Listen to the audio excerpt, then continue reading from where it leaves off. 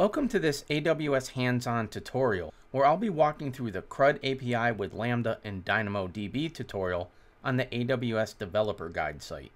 In following the tutorial, we'll create a serverless API which will create, read, update, and delete items from a DynamoDB table.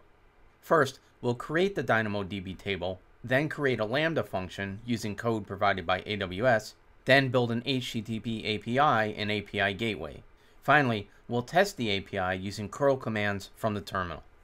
To get started, I've logged into the AWS console and navigated to the DynamoDB service. From here, I'll create a table and give it the name of HTTP CRUD tutorial items and set the partition key to ID. Then I'll scroll down and create the table. While the table's creating, I'll jump over to AWS Lambda and create a function. I'll give the function a name of HTTP CRUD tutorial function, leave the runtime as Node.js 16, and then click to expand change default execution role. I'll select create a new role from AWS policy templates and give the role a name of HTTP CRUD tutorial role. For the policy template, I'll select simple microservice permissions, then scroll down and create the function.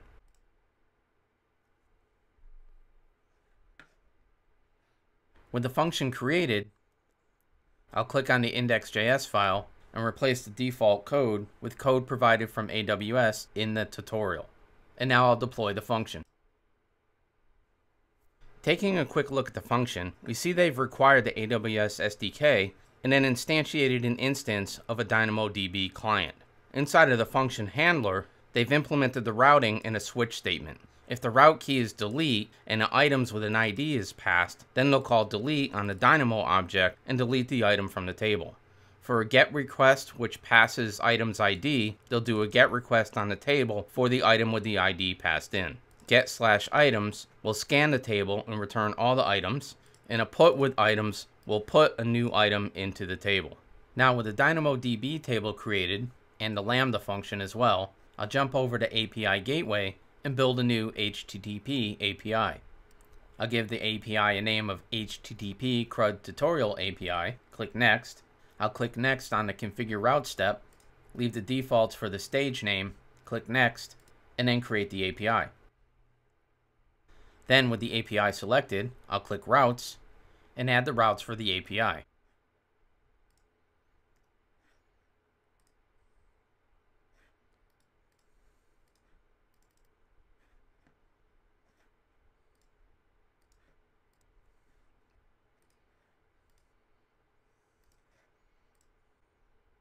With the routes created, I'll click Integrations to build an integration between the API and the Lambda function.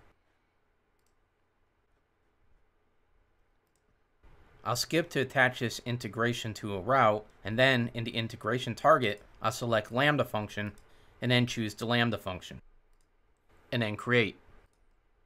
Now I'll attach the integration to the routes by clicking Integrations, selecting a route, and then the integration.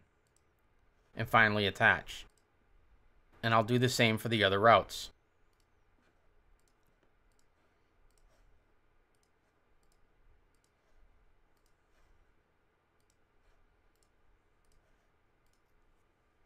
Now with the DynamoDB table in place, the Lambda function created, and the API built, I can test the integration. So I'll click on APIs, click the link to the HTTP CRUD tutorial API, and then copy the endpoint. Here I've copied and pasted the curl commands from the AWS tutorial, and now I'll replace their endpoint with the endpoint that I copied from API Gateway.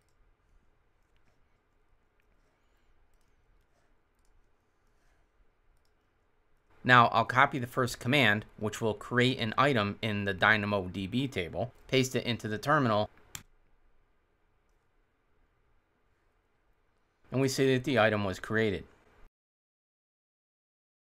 I'll clear the screen, copy the command to get all the items, and paste it, and we see that our item is returned.